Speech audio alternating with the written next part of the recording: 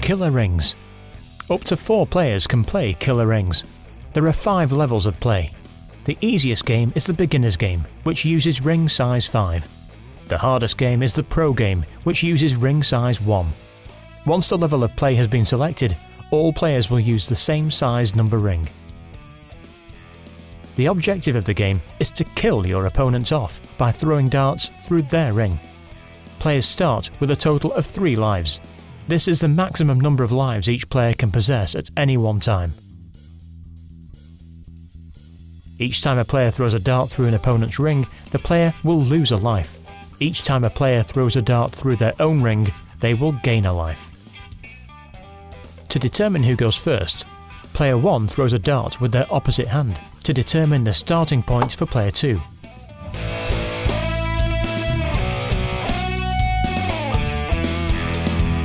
Player 2 does the same for player 3's starting point. Player 3 does the same for player 4's starting point, and player 4 will do the same to determine player 1's starting point.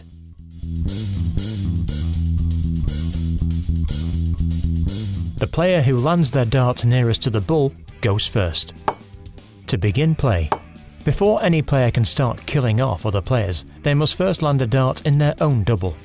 For example, if a player's ring is positioned over both the 20 and 1 section of the board, the number in which the player's first dart landed, the dart that determined the position of the ring, will be the number of the double which the player needs to hit.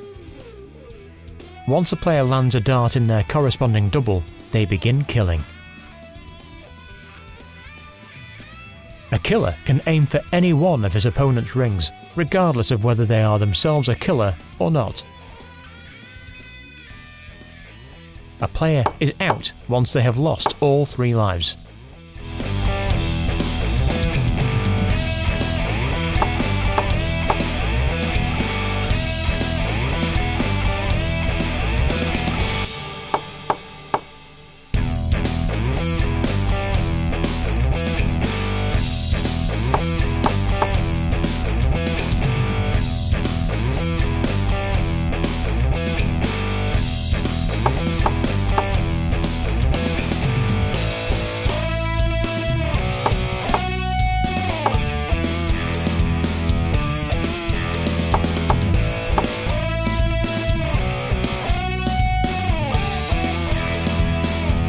The sole remaining player wins the game.